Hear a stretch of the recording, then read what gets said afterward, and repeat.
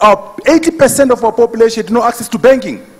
The technology for mobile banking was discovered, and then M-Pesa and EcoCash came in. Yes, they made money, but they also empowered the woman, the young person, the Zimbabwean, to be able to bank on a mobile platform.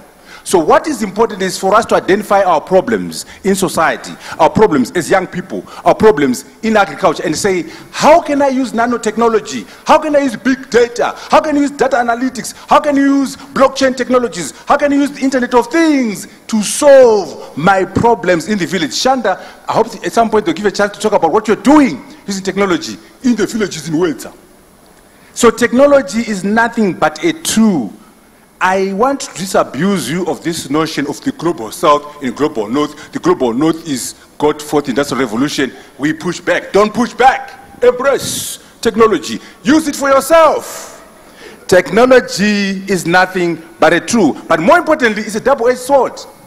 It can be used to destroy nuclear weapons, uh, making money, destroying communities, but you can also use it to build. So what is important for us as change makers, as game changers, to say, how do we use technology to make agriculture more productive, to organize our demonstrations, our struggle against the powers that be using artificial intelligence.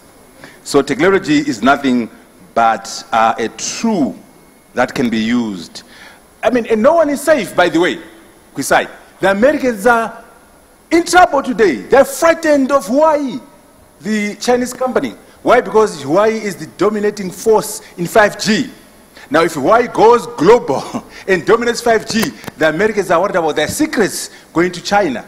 So what are they doing? They're trying to block the Chinese. So even big America is in trouble because technology is a double-edged sword. So they're trying to, you know, attack Huawei, arresting people. They're not safe. Technology is a major disruptor. It's a major equalizer. If we use it for yourselves by leapfrogging, very important, leapfrogging, jumping the older technologies and moving on. The example was given about Einstein and Steve Hawking.